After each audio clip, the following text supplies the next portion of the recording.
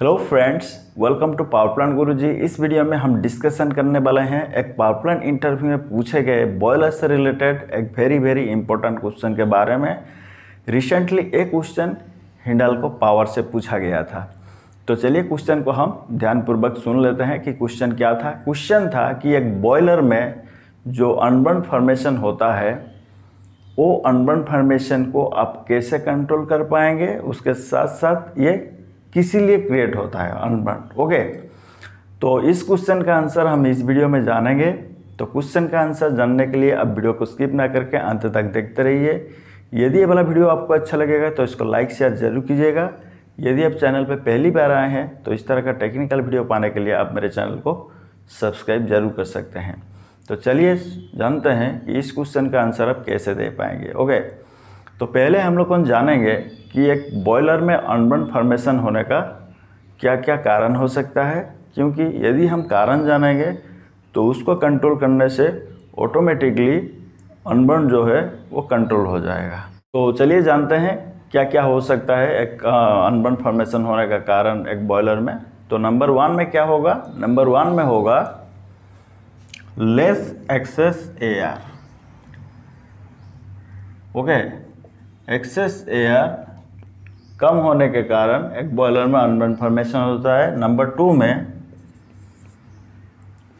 more moisture content in the fuel यदि fuel में moisture content ज़्यादा रहेगा ओके तो more moisture content in fuel clear number three में यदि ड्राफ्ट अनबैलेंस होगा ओके क्योंकि ड्राफ्ट अनबैलेंस होने से जो फ्यूल हम फायरिंग कर रहे हैं, ये कैरी ओवर करके लेता है, जहाँ हम अनबर्न का सैंपल को कलेक्ट करते हैं।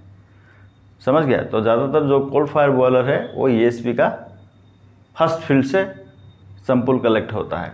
तो वहाँ पे आपको मिल जाएगा अनबर्न ओके तो due to unbalanced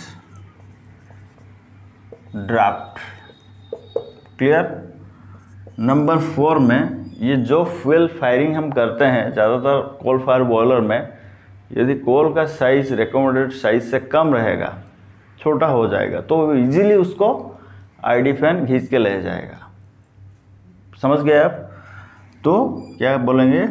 न less less fuel size fuel size कम होने के कारण नंबर फाइव में three T time temperature turbulence यदि ये तीनों प्रॉपरली नहीं मेंटेन होगा एक फर्नेस का इनसाइड में तो इसके चलते अनबर्न क्रिएट होना सुनिश्चित है। Not achieving 3T क्लियर हो गया? और क्या रह गया? नंबर सिक्स में। नंबर सिक्स में क्या होगा? ना यदि फ्यूल जो फ्यूल हम फायरिंग कर रहे हैं बॉयलर में यदि उस, उसमें आस कंटेंट ज़्यादा रहेगा। क्लियर हो गए? More ash content in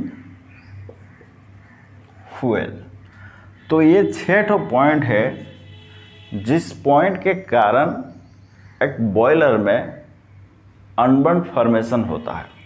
और ये सारे पॉइंट को आप कंट्रोल करके या इसको फोकस करके एक बॉयलर में जो अनबर्न फॉर्मेशन होता है, उसको आप मिनिमाइज कर पाएँगे। ओके? तो इसका आंसर आप ठीक इसी तरह से देना है, यदि आपको ये वाला क्वेश्चन पूछा जाएगा। तो उम्मीद करता हूँ दोस्तों, इस वीडियो देखने के बाद आप आसानी से इस क्वेश्चन का आप आंसर दे पाएँगे। तो रहता हूँ दोस्तों थैंक यू